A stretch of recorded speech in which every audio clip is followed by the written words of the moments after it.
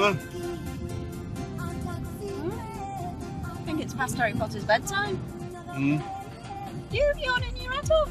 Oh, shattered. Woke up again last night. Same time. Yeah, 121. That's three nights on bounce, that now. Weird.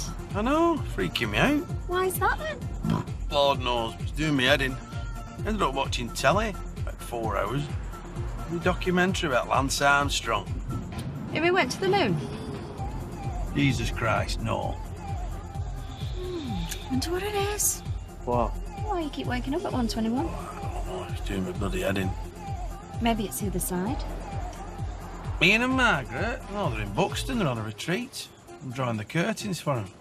No, the spirit world. Maybe they're trying to tell you something. Pick the moments. I don't ring anyone after nine. Anyway, you don't believe in all that hocus pocus, do you?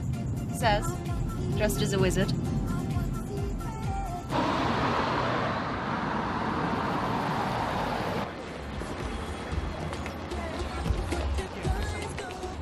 Here we are.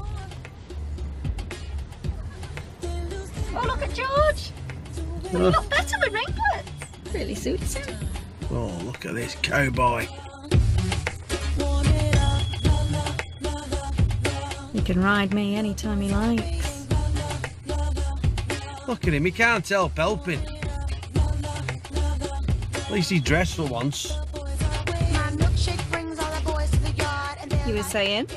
That's bang out of order, that. It's better than yours, I could teach you, but I have to charge. My milkshake brings all the boys to the yard.